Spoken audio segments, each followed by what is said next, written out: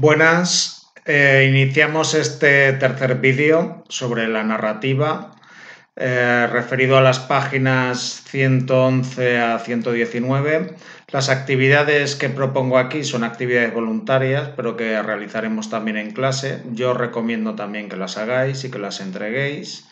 Yo por mi parte también colgaré el solucionario de cada una de ellas y son las que en principio veremos en clase. También consultaremos dudas de este y otros vídeos. Y lo dicho, eh, recomiendo también eh, realizar las actividades, repasar el PDF que con toda esta información anotada y subrayada, sobre todo para realizar el proyecto literario, que es la parte evaluable de la asignatura en este primer trimestre. En cuanto a la narrativa, vamos sobre todo a centrarnos en la narrativa en verso. Es decir, tanto la narrativa también extensa, que pertenece a los dos oficios o mesteres, es decir, al mester de juglaría, que es el más antiguo y es el que veremos relacionado con la épica castellana, como con el mester de, de clerecía, perdón, que es un poco más reciente y que pertenece ya a la poesía culta y que básicamente significa oficio de clérigos. Por último, también abordaremos en este bloque de narrativa lo que sería el romance, el romance como producto de esa fragmentación de los cantares de gesta épicos, ya a finales del siglo XIV y ya durante el siglo XV. Por tanto, vamos a abordar, por un lado, Mester de Juglaría para la épica castellana y sobre todo el poema de Mio Cid, que es su principal representante. Luego, el Mester de Clerecía, que será durante los siglos XIII-XIV, donde veremos, sobre todo empezaremos por Berceo, que no solamente es el primer poeta reconocido del Mester de Clerecía, sino también el primer autor conocido de la literatura en lengua castellana Seguiremos con el libro de Buen Amor del arcipreste de Ita y acabaremos con el romancero, como he dicho antes. Es un tema extenso, pero hay que tener paciencia. La épica realmente es un género en el que es un género narrativo muy antiguo, que básicamente hunde sus raíces en los testimonios más antiguos de la literatura universal y que su tema es la narración de esas hazañas, de esas aventuras legendarias de un héroe, como pone aquí también, que no solamente persigue el honor a través del riesgo, el honor no solamente el, eh, en cuanto a ese honor privado, sino sobre todo a esa honra, a ese honor público, de lo que dirán las gentes que lo rodean y eso debéis tenerlo muy en cuenta. Lo más importante en la épica sobre todo es la honra. Y más que esa persecución de la honra a través del riesgo, el tema de la épica, sobre todo en lengua castellana, es la pérdida y recuperación de la honra. Una pérdida puntual que luego se se recupera con mucho trabajo, la recupera con mucho trabajo el héroe al final del poema épico. ¿Y cuándo se produce? Se produce durante la consolidación, durante el nacimiento de, de una nación, de un pueblo, de un estado, lo que se llama también, lo que llamado por algunos estudiosos de la literatura como edad heroica. La edad heroica es donde realmente los héroes se forjan y ofrecen su ejemplo a esos ciudadanos que empiezan a construir esa nación, ese Estado, ese reino que será poderosísimo. Nosotros en nuestro caso nos fijaremos sobre todo en el mío Cid, en Rodrigo Díaz de Vivar el Cid, que como figura histórica supuso la inspiración para, muchos, eh, para muchas personas de esta época en cuanto a lo que sería el nacimiento de la corona de Castilla como nación y más tarde se convertiría en la superpotencia, en el germen de lo que hoy en día conocemos como España. Y por eso muchas veces se ha identificado al Cid precisamente con, eh, con esa como una figura patriótica. En cuanto a su origen, realmente esos valores que quería que representaba al Cid y otros héroes de la época eh, realmente eran valores que no eh, se representaban como primera intención, sino como, ni como primer propósito, sino que el origen realmente de la épica era en un principio informar. Es la función de telediario que tenía o de informativo que tenía precisamente la épica.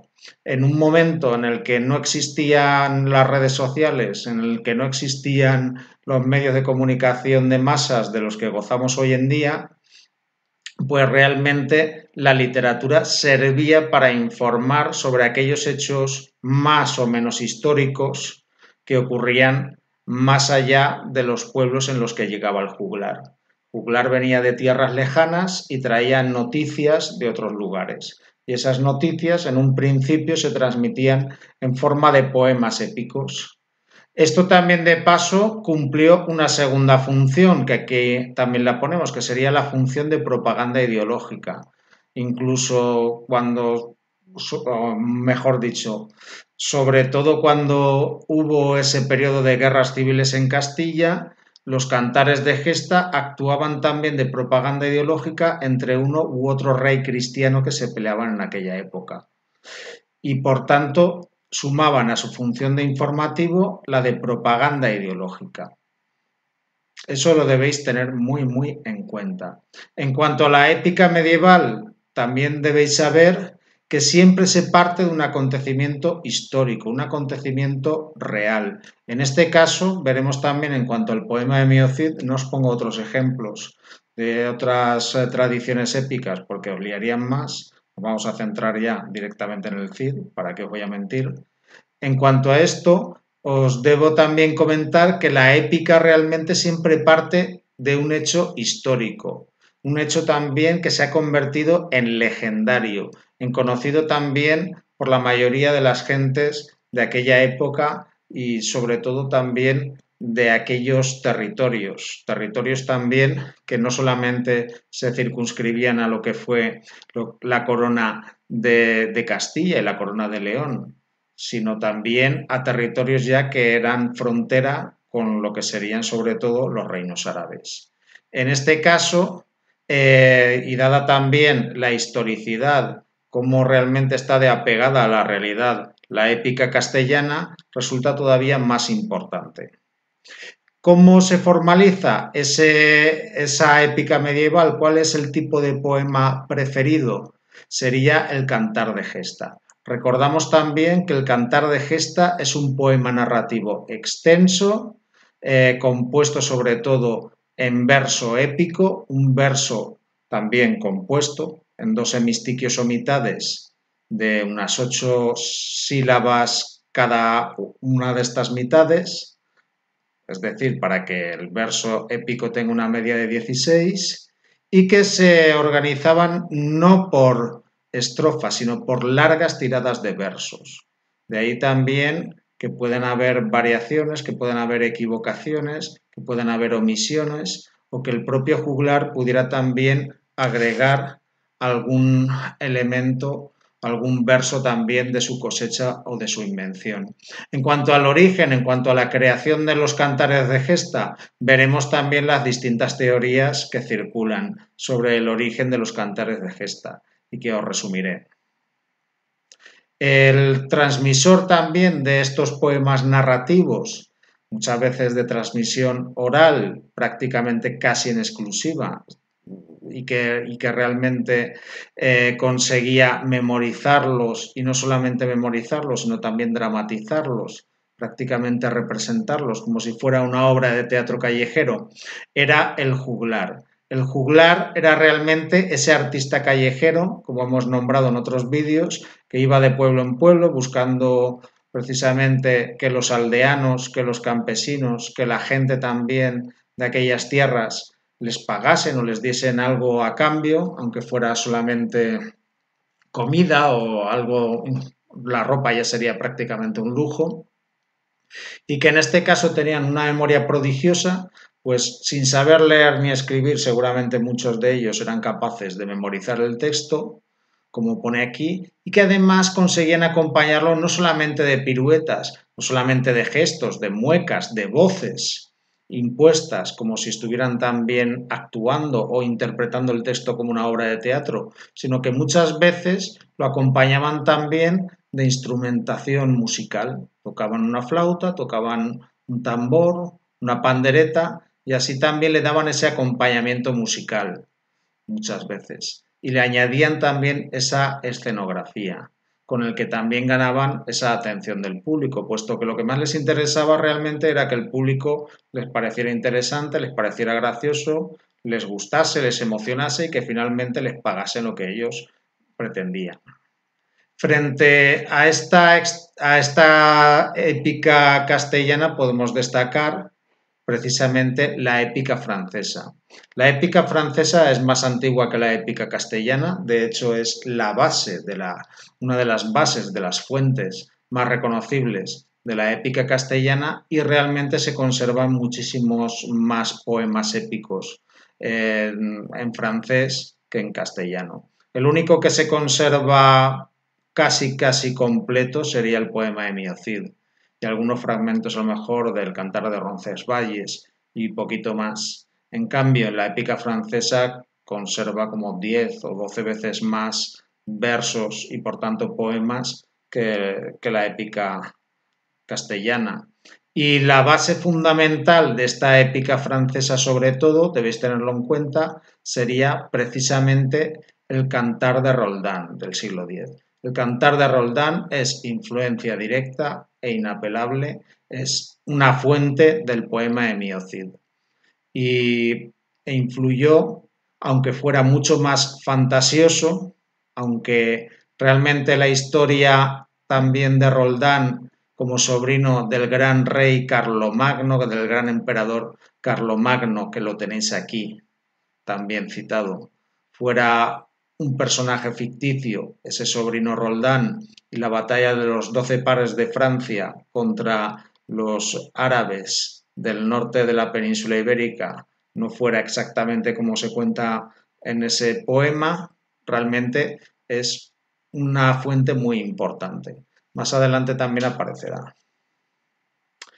Eh, los que se conservaron en lengua castellana al margen de la copia de 1207 del poema de Miocid se han encontrado muchas veces simplemente como fuentes o utilizados como, eh, como poemas prosificados, es decir, poemas que en lugar de poner un verso debajo de otro lo han puesto justamente al lado para constituir, para componer las crónicas, para componer libros de historia. Pues no había diferencia en aquella época entre lo que eran las fuentes literarias, ficticias, y las fuentes reales de las crónicas o libros de historia de la época. Eso debéis tenerlo en cuenta. La Edad Media no distinguían entre ficción y no ficción. Entonces, eso comprenderlo. Y dentro de, esos, eh, de, esas, de esas composiciones que se centran muchas veces en personajes históricos, vamos a ver también esos tres ciclos que yo creo que son fundamentales. El primer ciclo trata sobre los condes de Castilla, sobre los orígenes de lo que sería la corona de Castilla, como podría ser el cantar de Bernardo del Carpio. El segundo, y más importante desde nuestro punto de vista, sería el de Cidiano, el que trata sobre las andanzas del Cid. No solamente es el poema de Mio Cid, también podemos ver poemas posteriores como el de las mocedades del Cid, como si fuera la precuela, sus orígenes, su infancia, cómo se forjó como héroe. El que nos interesa es el poema de Miocid, que ya parte desde el hecho de que lo expulsan de Vivar, que lo destierran de Vivar. Por tanto, el más importante para nosotros es el del Cid. Y luego un tercero sería el carolingio, que viene por el cantar de Roncesvalles, ese paso también de los Pirineos, que, eh, en el que se protagonizó una batalla muy parecida a la de la batalla de las Termópilas, que muchos conoceréis por la película 300, y que tiene que ver con Carlomagno y esa épica francesa, que bebe directamente del cantar de Roldán, donde 12 caballeros mantuvieron a raya a miles de atacantes árabes mientras cubrían la retaguardia para que el emperador Carlomagno pudiera estar a salvo del ataque de los árabes, pudiera cruzar la frontera con Francia y pudiera refugiarse en Francia. Después de haber intentado conquistar el norte, la parte o lo que corresponde hoy en día a lo que sería el norte de la península ibérica, después de que hubiera intentado liberarla también de los árabes y derrotar en este caso al emir de Zaragoza. No lo consiguió, solamente lo provocó y tuvieron que salir corriendo hacia, hacia Francia. Y claro, viendo también que los alcanzaban, los doce caballeros con Carlomagno, el famoso sobrino ficticio de, perdón, con Roldán, el famoso sobrino ficticio de Carlomagno, pues les cubrieron la retirada en ese desfiladero de Roncesvalles para ganar ventaja estratégica y evitar que los alcanzasen. Por último, debéis tener en cuenta en cuanto a la forma, en cuanto a la métrica, en este último párrafo, que la épica castellana se caracteriza sobre todo por esa irregularidad métrica. Es decir, cada verso épico tiene una medida. No todos miden 16, en dos hemistiquios de 8 sílabas cada uno, sino que algunos son de 20, otros son de 18, otros 19, 15, he llegado también a medir. Y realmente debéis tener en cuenta que predominan sobre todo los versos de 14 y 16. El de 16 es el más habitual, pero ya os digo que no es el único. Y esto se debe a su origen oral, eh, realmente, y al hecho de que se transmitiera oralmente y que se divide también ese verso épico en dos partes o hemistiquios separados por una pausa versal o cesura. Esto lo tenéis también bien explicado en el dossier de métrica y podéis recurrir a él sin ningún problema. Eh, ya sabéis que no hay estrofas, vuelvo a decir otra vez más, la extensión es variable. En el caso del poema de Miocid, no sé si son 3.750 versos aproximadamente, imaginaos, y luego realmente tiene una rima asonante monorrima, idéntica. Esa rima asonante solamente se repite el sonido vocálico a partir de, la vocal tónica de la última palabra de cada verso. Tenedlo en cuenta. En cuanto al poema más conocido, el poema de Miocid, hay diversas cuestiones importantes. La primera también en realidad, cuando hablamos o tratamos el poema de Miocid, siempre se nos vienen encima dos polémicas. Una que tiene que ver con la datación, es decir, cuándo se escribió o cuándo se compuso, mejor dicho, el poema de Miocid. Y en segundo lugar, sobre el autor. No conocemos al autor, siempre se ha considerado un poema anónimo de autor desconocido, pero hay algunas teorías sobre quiénes pudieron ser sus autores sin llegar a ponerle nombre y apellidos. Y os digo que esas dos polémicas, la de la datación sobre la fecha del poema y sobre la autoría, están íntimamente ligadas y ahora veréis por qué. La primera de ellas, eh, además un tema también bastante polémico entre los profesores de literatura, sobre todo entre los universitarios, es precisamente la datación. El manuscrito que se conserva, además en la Biblioteca Nacional en Madrid, es una copia del siglo XIV, como pone aquí. Es uno de los manuscritos más valiosos de la literatura en lengua castellana. Tiene un valor incalculable. Y ese manuscrito está firmado por un tal Per Abad, Pedro Abad, para que me entendáis, y se supone, se ha acordado que es eh, que la fecha que pone es la de 1207. Haciendo los cálculos también entre los, el cambio de calendarios y luego una famosa C, porque recordemos que en aquella época los siglos se ponían en números romanos, que no se sabe si existe o no, se, eh, el mayor acuerdo entre los profesores de literatura es que el manuscrito es de 1207. Eso no quiere decir que se haya creado en esa época. Se, cree, se sabe que en realidad es más antiguo. Simplemente que en aquella época donde no había imprenta, donde no había ni muchísimo menos fotocopias, cuando se quería hacer una copia de un manuscrito o que circulase de alguna forma entre otras personas, se tenía que hacer a mano. Y uno de ellos, muchos de ellos eran mm, monjes, eran religiosos que se dedicaban a copiar a mano libros enteros para poder también, eh, por encargo muchas veces de gente con mucho dinero, para que pudiese de alguna forma pues conservarlos o ser dueños. Entonces, realmente el copista es un tal Perabat y el manuscrito que se conserva en realidad es una copia, aunque a pesar de que sea del siglo XIV, está firmado en 1207. Pero realmente se considera que es más antiguo. Hay varias teorías. Una, la de Menéndez Pidal, la del juglar o los dos juglares. En vuestro libro directamente va hacia la última, la de los dos juglares. Entonces, eh, Perabat se considera que copia una obra que ya existía anteriormente, que le gustaba, que circulaba por muchos pueblos y palacios y lugares de la tradición juglaresca. Sería una historia tremendamente conocida porque el Cid siempre ha sido un personaje muy, muy, muy conocido. Y en este caso se supone que es una síntesis, que en realidad es una obra que hicieron a mitad dos juglares diferentes. Un primer juglar que viviría cerca de lo que sería la, la fecha del Cid histórico, si el Cid muere en 1099, este juglar lo podría haber conocido porque compone este poema de Mio Cid, esa primera parte, la compone alrededor de 1110. Se supone que es de Medinaceli también por la cercanía, porque cuando el Cid pasa por cerca de, este, de esta población, de este territorio, describe con bastante exactitud los alrededores. Por tanto, se supone que es una persona que lo debía conocer bastante bien ese lugar. Se sabe también que es tan antiguo por el estado de la lengua, porque la lengua es un ser vivo y evoluciona.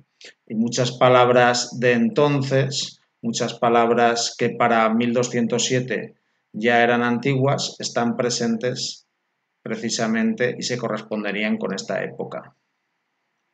Y luego sería también el juglar, sobre todo el de Medinaceli, el primero, el de 1110, el que le aportaría esa base histórica, porque ya os digo, si el Cid muere en 1099 en Valencia, en 1110 estaría bastante cercano a los hechos, solamente habrían pasado 11 años desde la muerte del Cid y probablemente habría conocido a sus caballeros, puede ser que lo hubiera conocido personalmente, Realmente estaba muy reciente la historia y por eso la primera parte es bastante más histórica que la segunda. Y habría establecido, como pone aquí, eh, ese plan general de la obra en tres cantos, la división tradicional en tres cantos que luego veremos. Habría llegado prácticamente, habría compuesto el primer canto y habría hecho parte del segundo, que sería, perdón, el cantar de las bodas. Bien, el segundo juglar sería de 1140, ya sería muy difícil que hubiera conocido al Cid, sería de San Esteban del Gormaz por la misma razón, porque cuando el Cid pasa posteriormente en la segunda parte, en lo que sería la parte más moderna, cuando pasa por, por esa población, la describe con mayor fidelidad, la describe con mucho más detalle, y eso debéis tenerlo en cuenta. Esta segunda parte que, que parte del segundo cantar de las bodas y que también recoge el cantar de la frente de Corpes, es menos épico e histórico, es más novelesco, añade el episodio del león, que algunos tenéis que realizar también el comentario de ese episodio del león, y esos episodios novelescos, esos episodios ficticios, se añaden más tarde en la épica para captar el favor del público. El público ya conocía la historia del Cid histórico, y ahora quería ese Cid más heroico, más fantasioso. Y para ello necesitaba ese episodio del león, por ejemplo, o esa parte más morbosa que sería la afrenta de Corpes, cuando los infantes de Carrión, tras casarse con las hijas del Cid, las violan, las azotan y las dejan eh, amarradas a los robles de ese bosque cerca de Corpes para que todo el mundo las pueda ver, azotadas, desnudas y maltratadas, como una forma de deshonrar al Cid, al que no se atrevían a hacerle frente con la espada. Eso debéis tenerlo en cuenta. Por tanto, teoría de dos juglares. Primera teoría. sería también primero de Medinaceli, 1110, histórico, básicamente porque vivió cerca también de los hechos que se, que se narran en el poema. Y un segundo que sería el refundidor, el de 1140, el de San Esteban del Gormaz, que acabaría el poema y le daría ese toque más novelesco, más literario, más ficticio. Además de esta teoría, hay otra, esta segunda teoría, en la que dice que Perabat, eh, que sería un monje vinculado al monasterio de San Pedro de Cardeña, eh, realmente pudo haber sido algo más que el copista, pudo haber sido también el autor o haber conocido al verdadero autor que sería un autor culto, que sería un clérigo que habría compuesto también este poema eh, realmente porque eh, tenía los conocimientos suficientes referidos no solamente a la literatura, no solamente porque había leído a los clásicos, sino porque también se nota a través de los tecnicismos, a través de esas palabras eh, específicas que emplea, que realmente tenía muchos conocimientos no solamente religiosos, sino también referidos al derecho, referidos también a lo que sería el ejercicio de la abogacía. Eh, y esa base culta, esos rasgos cultos que solamente les, los podría aportar un autor culto, nos inclina a pensar precisamente eso, que era un clérigo, una persona letrada, una persona que realmente tenía una cultura notable y que no era un juglar como en la primera teoría. Todavía no se ha dilucidado, si, doy, si soy sincero, no se sabe realmente cuál de los dos. Yo sí me tengo que quedar con una teoría, me gusta más la de Menéndez Pidal, la primera. La segunda, realmente la del autor popular culto, tiene, hay una parte que me convence, pero otra no del todo. De todas formas, para vosotros, yo me quedaría eh, con esta primera también, simplemente por la datación, simplemente por la datación, porque yo no me creo, como diría la segunda teoría, que el poema de Miocide es de 1207. Voy a pasar a la siguiente. Voy a pasar a lo que sería la estructura. Realmente la división tradicional del cantar de Miocid es una división que no se basa en capítulos, porque realmente no hay una distinción de capítulos, no hay una distinción de partes, simplemente son largas tiradas de versos, eso debéis tenerlo muy en cuenta, y tradicionalmente se divide en tres partes, el cantar del destierro, el de las bodas, el de la afrenta o deshonra de corpes. El destierro realmente, como falta la primera parte, los primeros folios del cantar de Miocid, no se sabe a ciencia cierta a qué se debe no es en lo que pone en el libro, no es precisamente por la jura de Santa Gadea. Esta parte de aquí pertenece a lo que sería los, eh, los, romances de cidianos, los romances basados en lo que sería el Cid, en la figura del Cid, pero en una figura posterior. El Cid, a pesar de que participó en esa guerra civil entre Alfonso VI, que es el rey que aparece en el poema, contra su hermano Sancho IV, al que en principio le debía vasallaje el Cid, pues era su verdadero señor, y doña Urraca, que aunque os parezca curioso también, doña Urraca era la hermana menor del rey.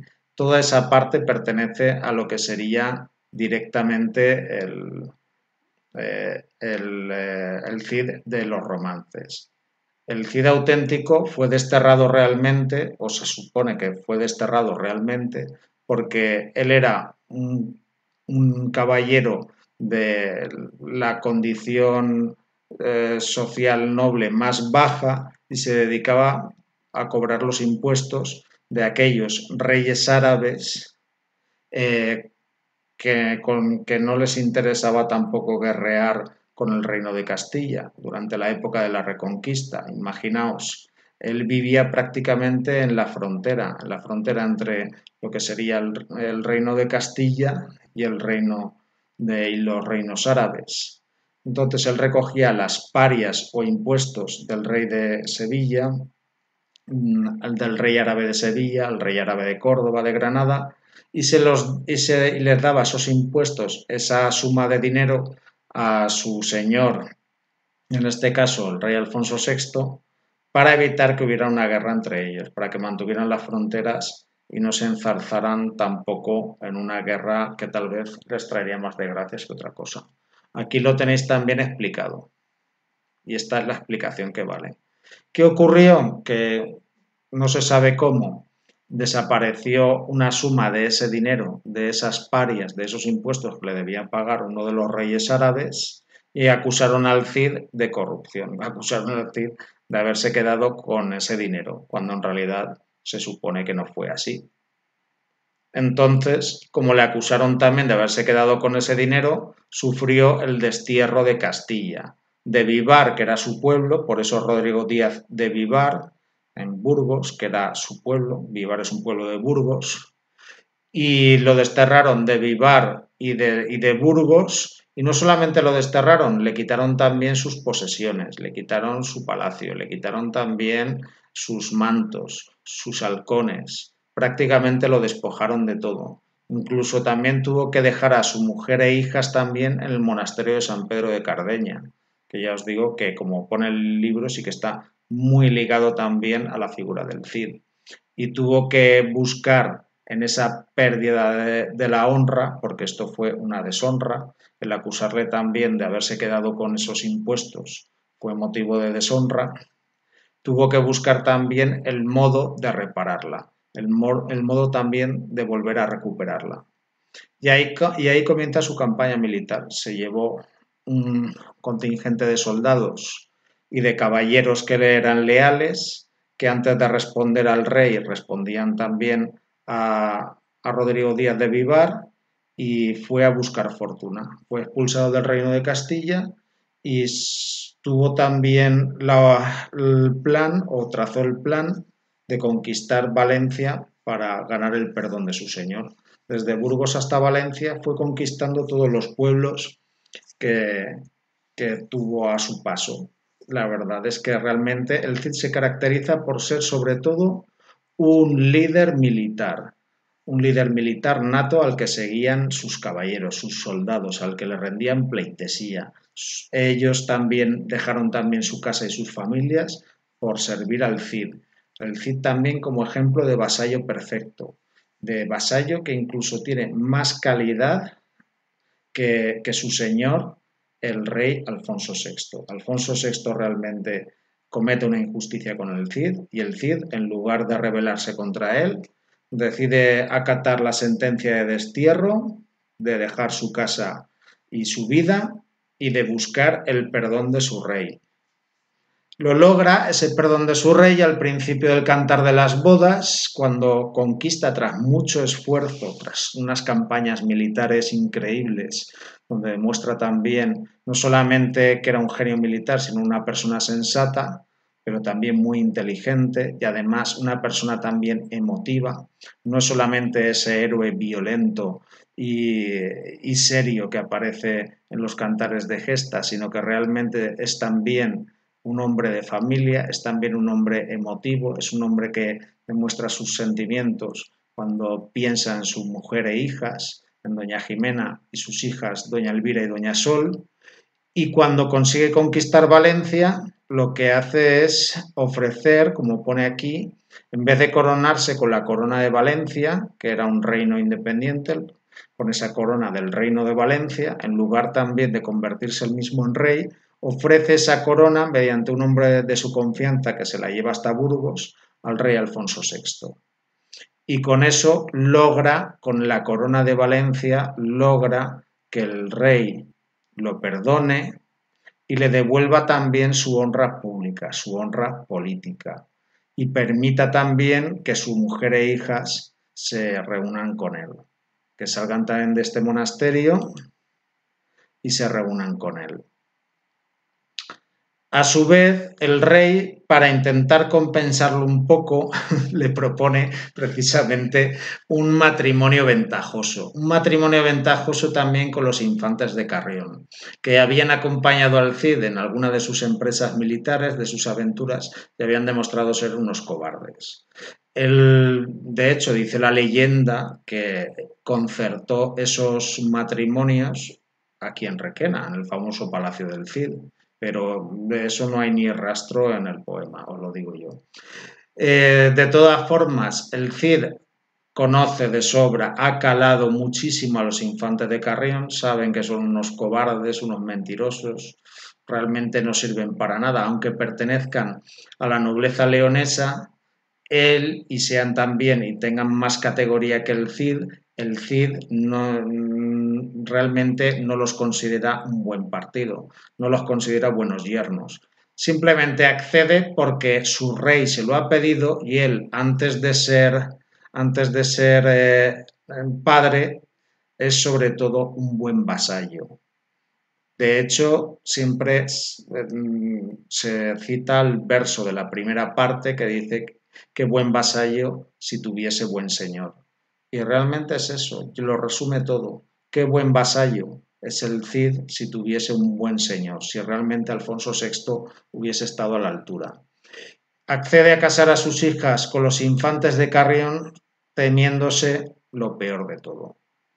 Cuando surge también, y aquí ya había recuperado su honra, eh, cuando surge también esta segunda deshonra, surge precisamente en el cantar de la afrenta de Corpes. Esta afrenta, que significa deshonra, eh, surge de la mano de los infantes de Carrión, que muestran su cobardía varias veces en el poema y realmente se les ridiculiza, se los considera de una manera además muy cómica. En el caso del, del episodio del león, simplemente una vez que ocurrió que, el, que una vez que el Cid conquista Valencia, había un león que había pertenecido al rey árabe que él había derrotado, se queda con ese león y mientras él duerme en el trono del rey árabe que había reinado hasta entonces, ese león que estaba en la misma sala, no se sabe cómo, consigue escaparse y, y, el Cid en un principio no se entera porque estaba durmiendo la siesta en ese trono. En cambio, los primeros en enterarse fueron los infantes de Carrión, que al verlo, en lugar de, coger y, enfrentarse al león, se metieron debajo de, de una mesa y mancharon hasta los mantos, básicamente, es decir, que se lo hicieron todo encima. Por el contrario, los hombres del Cid sí que se dieron cuenta algo más tarde y lo que hicieron, su reacción inmediata fue proteger al Cid. Formaron un círculo alrededor del escaño, no quisieron despertarlo, eso también es importante, desenfundaron las espadas y protegieron al Cid hasta que el Cid, viendo también, escuchando tanto barullo, se despertó, cogió al león prácticamente con una mano y lo metió de nuevo en su jaula para que veáis. Esto es un ejemplo también de episodio novelesco, de episodio ficticio, porque no ocurrió, no ocurrió realmente. Eh, como se vieron tan humillados y los hombres también del CID eh, vieron que quedado tan, tan de manifiesto que los infantes de Carrión habían sido unos cobardes, ellos, en lugar de defenderse, lo que hicieron fue tramar una venganza. Y esa venganza tenía como objeto sus esposas, las hijas del Cid, doña Elvira y doña Sol. No tenían por objeto el Cid que les al cual le tenían tanto miedo, lo veían que había ganado tanto poder después de haber conquistado Valencia, que no se atrevían a ir directamente contra él. Fueron tan cobardes que fueron directamente contra sus hijas. ¿Para qué? Para deshonrarlo. ¿Y qué hicieron? Lo que os he comentado antes. Simplemente cogieron con la excusa de ir hacia Carrión, por el Robledal de Corpes, que estaba cerca de un camino bastante transitado. Allí las violaron, las azotaron y las dejaron y las abandonaron desnudas y atadas a uno de los robles de ese robledal, de ese bosque de robles, para que todo el mundo las viese, como una forma de deshonrar al Cid. Y esa nueva deshonra, esa segunda esa nueva deshonra, esa nueva caída también de su honor público, en este caso sería su honor privado, familiar, que todavía le podría doler más, hace que el Cid pida venganza. Y más que justicia, yo creo que en el fondo sería venganza. Pero en lugar de actuar como padre, en lugar de desenvainar él mismo la espada, mm, prefiere también que sus hombres, que sus eh, amigos y vasallos eh, defiendan el honor del Cid. El Cid ya se considera que está tan por encima de los infantes de Carrión que no lo ve necesario que sea él, sino que deben ser sus hombres quienes les den una lección. ¿Y cómo lo hacen? Mediante un torneo. No mediante un duelo, sino mediante un torneo en Toledo, presidido también por el rey Alfonso VI, y ahí es donde se baten en duelo lo que serían los hombres del Cid contra los infantes de Carrión y, don García, un aliado también de los infantes de Carrión, que representa la más rancia nobleza leonesa, pero también la más canalla. Y al final vencen los hombres del Cid porque tienen razón, Dios guía su mano y consiguen también vencer, y eso le proporciona al Cid una nueva, una nueva forma de acrecentar su honra, que sería con unas bodas más nobles, ya que emparentan, ya que el rey Alfonso VI, para de alguna forma eh, compensar este nuevo agravio, esta nueva deshonra, lo que hace es buscarle matrimonio a sus hijas, anula el anterior, lógicamente, lo anula el anterior, el anterior matrimonio con los infantes de Carrión, y las casa con los infantes, con los príncipes de Navarra y Aragón. Entonces, ahora el Cid, de pasar de ser un, prácticamente un caballero de la baja nobleza, se convierte en pariente de reyes, por lo cual gana en honra. Y eso es fundamental. Ya no es la pérdida y recuperación de la honra para devolver, para volver a ese equilibrio inicial, no. Ahora lo que hace es ganar en honra, acrecentar su honra. Por tanto, lo que le sirve también todas estas aventuras, todas estas peripecias, no es para recuperar lo que tenía antes, sino para ganar aún más honra. Y eso lo debéis tener muy, muy en cuenta. En cuanto a lo que sería, y además lo veis que es una progresión, no es algo que, simplemente eh, él, lo, lo pierda y lo recupera de pronto, no. Lo pierde, de, pierde la honra de pronto y le cuesta mucho recuperarla. Sobre todo en la primera parte, en el cantar del destierro, hasta que consigue conquistar Valencia. Es un proceso mucho más largo. En cambio, el del torneo, para, para recuperar la honra en Toledo, mucho más rápido. Eh, a pesar de ser una figura, un poema bastante historicista, muy apegado a la realidad, no lo es del todo, por varias razones. Una es que las hijas del Cid no se llamaban Doña Elvira, Doña Sol, se llamaban Doña Cristina y Doña María. El Cid también tuvo un hijo, del que tampoco se dice nada, por ejemplo, ni que Doña Jimena, sin ir más lejos, su mujer era pariente también de Alfonso VI el, rey de Castilla y de León. Esas cuestiones no se nombran y eso debéis tenerlo en cuenta. Otra cosa importante es, sobre todo dentro de lo que sería su vida, la vida de ese Cid histórico, recordad, no ya tanto que nació en Vivar en 1050, sino sobre todo que murió en Valencia en 1099. Y eso eh, es importante que lo sepáis. En cuanto al estilo, los recursos. Hay de diversos tipos y sobre todo algunos ligados ya no tanto al tema, sino a la recitación en voz alta. Eh, uno de los más interesantes es el epíteto épico. Epíteto ya sabéis que es un adjetivo innecesario y en este caso épico se refiere también a que intenta de alguna forma eh, engrandecer la figura del Cid. Cada vez que se nombra el Cid de alguna forma, se le llama campeador, se le pasa a llamar también Rodrigo Díaz de Vivar, el que en buena hora ciñó espada, el que, el que en buena hora empuñó la espada, ceñir es empuñar, o el que en buena hora nació. Bien, es interesante que los epítetos van siendo cada vez más largos a medida que el Cid gana en honra. Por tanto, cuanto más largo es, quiere decir que el Cid ha ganado más en honra todavía. Otro segundo empleo que también es interesante es las llamadas de atención al público, para captar esa atención del oyente, lo que yo hago muchas veces en clase. Y aquí eh, sería, por ejemplo, odredes, que significa oiréis, y eso es importante que lo tengáis en cuenta, o verides, que significa veréis, oiréis y veréis, que es parte de lo que nos resulta también eh, más interesante. Veréis y oiréis se refiere también al público. Ahora veréis, ahora oiréis, prestad atención. Esos, esos son llamadas de atención al oyente, lo que significa que es un poema realmente que se transmitía oralmente, no era para leerlo, era para escucharlo o para verlo representado.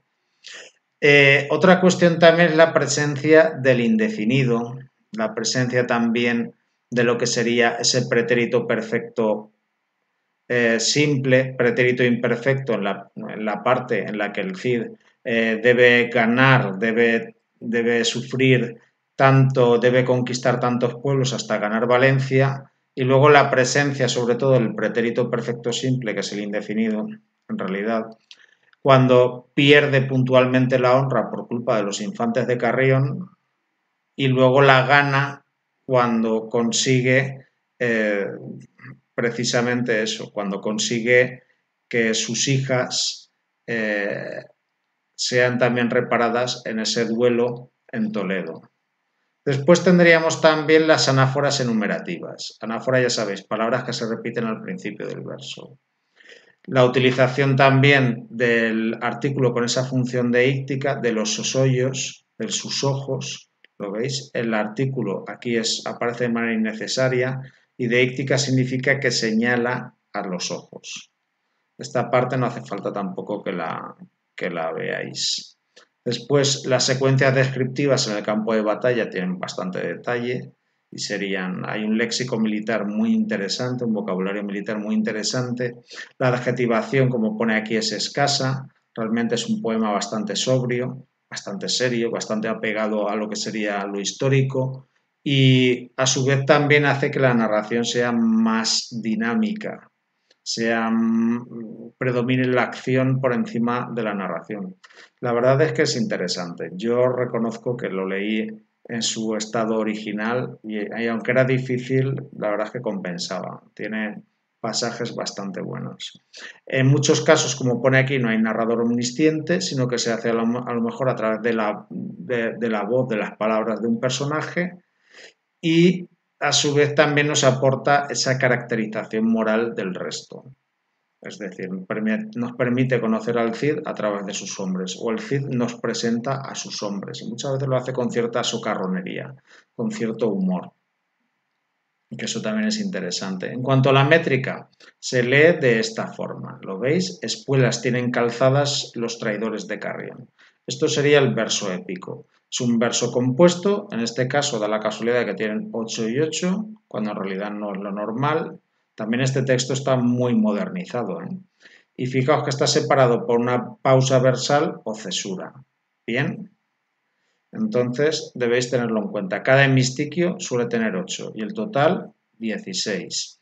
La sintaxis, como pone aquí, es sencilla. Estamos todavía en los inicios del castellano. El castellano empezará a, tener más fuerza o a tener más variedad sintáctica a partir de Alfonso X el Sabio. Y aquí sobre todo predominan las yuxtapuestas, es decir, oraciones compuestas que se unen sin nexo y las coordinadas. Las coordinadas, sobre todo las copulativas, nos permiten sumar información, nos permiten avanzar y están al servicio en realidad también de lo que sería la acción.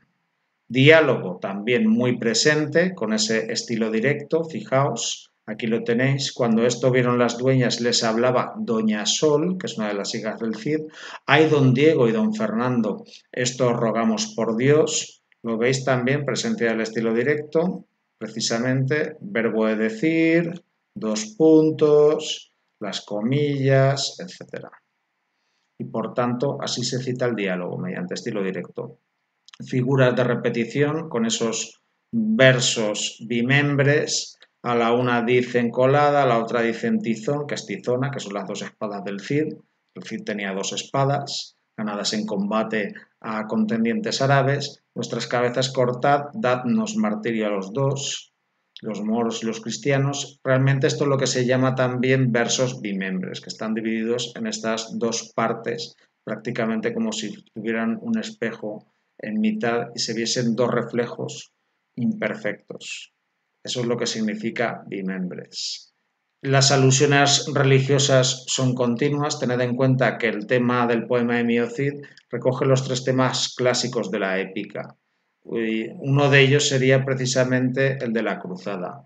El Cid se considera que es un caballero inspirado por Dios, realmente. Y en algún momento del poema se le aparece también la Virgen María y le reafirma en su misión de cruzada, de, combatir también a los no cristianos y extender la cristiandad por, la, por toda la parte de la península ibérica que fuera posible. Y además también hace alusión a ese lenguaje cotidiano y esa visión del mundo. Realmente lo que más cuesta de la literatura es hacernos a su visión del mundo. Pensad en una sociedad guerrera, de frontera, donde la amenaza del, del otro estaba permanentemente presente, del otro y de los suyos también. No solamente guerreaban, no solamente está presente el tema de la cruzada, también el de la traición, como la que hicieron los infantes de Carrión al Cid. Y eso debéis tenerlo muy, muy en cuenta. En cuanto al realismo, se puede observar también por esa descripción de la paliza o de las costumbres, eh, de lo que dirá también la gente, y la intervención también del narrador. Aquí aparece qué ventura sería esta, lo veis, es decir, qué ventura, qué, qué fortuna, qué bien, qué bueno sería esto si así lo quisiese Dios que apareciese ahí entonces nuestro Cid campeador. ¿Lo veis? Realmente cómo se, cómo se involucra en este caso. Aquí tenéis también el fragmento que sería de la partida del Cid, y lo que voy a hacer es que en un segundo vídeo veremos el Mester de Clerecía. Así que hasta ahora.